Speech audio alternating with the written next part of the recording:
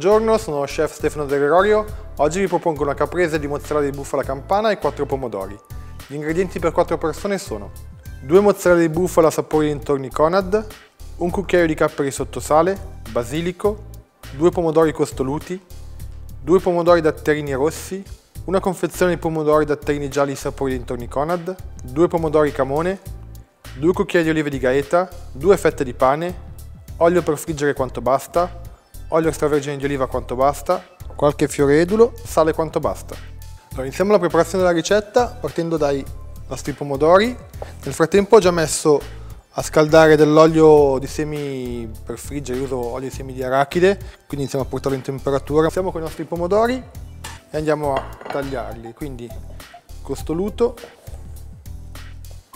andiamo a ricavare delle fettine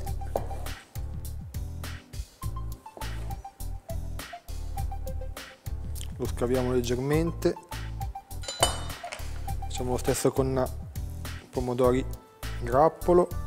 Ovviamente sono già stati lavati precedentemente. Lo stesso col pomodoro sardo.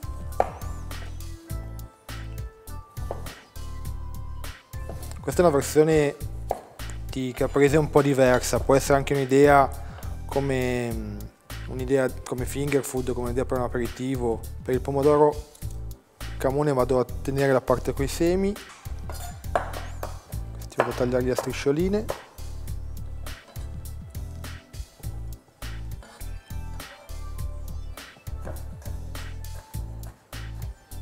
Si taglia anche un po' a dadini, tanto per dare delle forme anche un po' diverse al piatto.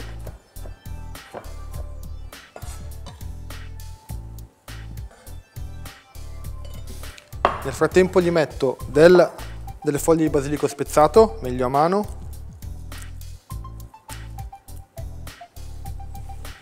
Un pizzico di sale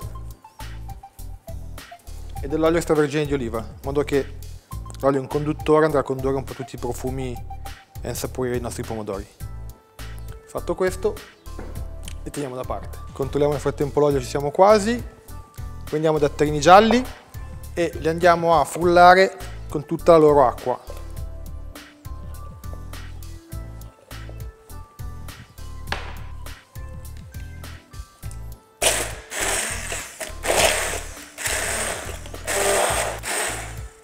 Ok, il pomodoro giallo io tendenzialmente lo uso spesso anche con il pesce, cerco di non andargli a insaporire con altri aromi perché è già buono di suo, soprattutto in questo caso vorrei lasciarlo il più purezza possibile. Quindi prendo un colino e vado a passare in modo da togliere eventuali semi o buccia. Con l'aiuto di un cucchiaio lo setaccio e vado leggermente a intiepidire. Questo anche perché avremo così nel piatto una, delle, delle, consistenze diverse e anche una, un gioco tra ingredienti freddi o temperatura ambiente e caldi. Nel frattempo prepariamo il pane, che l'olio è caldo, quindi tiriamo via la parte della crosta che è un po' più dura e lo tagliamo a dadini piuttosto uniformi.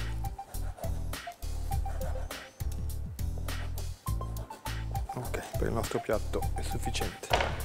Inseriamo il nostro pane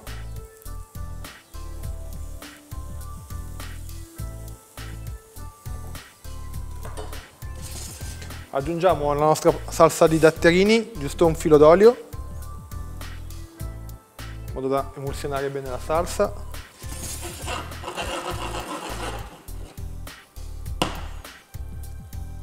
Ok, la facciamo andare. Controlliamo il pane, lo scoliamo per bene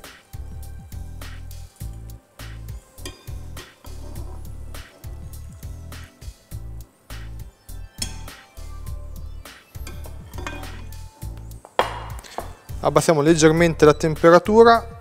Nello stesso olio io ho già dissalato dei capperi. Li ho già messi in acqua e gli ho tolto il sale in eccesso li ho tamponati bene per togliere l'acqua appunto che hanno, che hanno assorbito. E li faccio friggere nell'olio dove abbiamo precedentemente fritto il pane.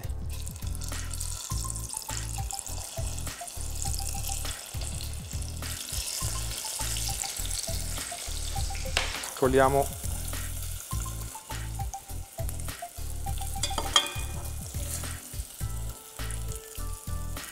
Adesso man mano che si raffredderanno diventeranno belli croccanti e daranno anche la parte un po' salina al piatto. Teniamo da parte. Prendiamo un altro bicchiere di un, un, di un frullatore, prendiamo la mozzarella e la spacchiamo con le mani. Questo perché voglio tenere una parte interna con i propri filamenti, insomma la parte tutta più ricca di, di latte, intera, e il resto invece andremo a frullarla. In modo da avere comunque la mozzarella con due consistenze diverse. Iniziamo a frullare la mozzarella, aggiungiamo giusto un filo d'olio e frulliamo. Nel caso, come in questo caso ovviamente risultasse un po' troppo dura, io aggiungo dell'acqua frizzante, fredda, in modo da evitare di aggiungere ulteriore latte o panna e avere la, la mozzarella più pura possibile.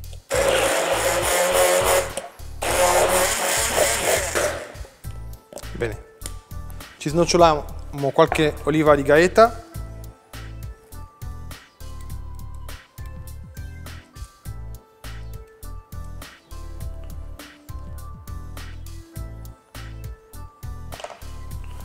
e andiamo a comporre il piatto. Quindi prendo il mio piatto portata, riprendo tutti gli ingredienti e iniziamo. Quindi versiamo sulla base del piatto la nostra crema di mozzarella risulterà particolarmente spumosa. Poi aggiungiamo la parte di mozzarella che abbiamo tenuta sfilacciata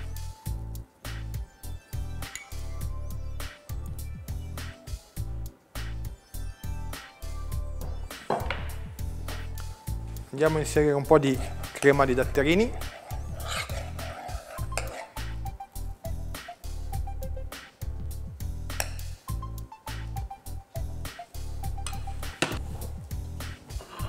Pomodori che abbiamo precedentemente tagliato.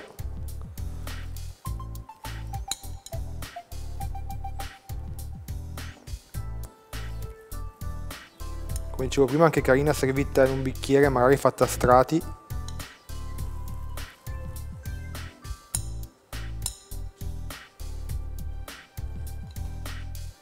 ultimiamo con qualche cappero, dei crostini di pane,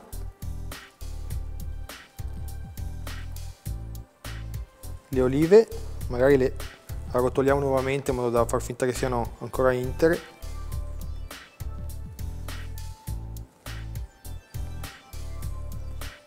Finiamo con qualche fioredulo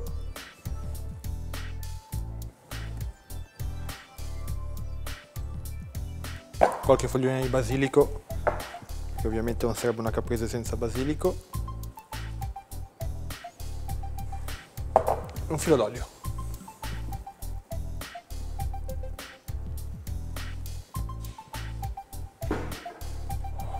Il piatto è pronto, buon appetito!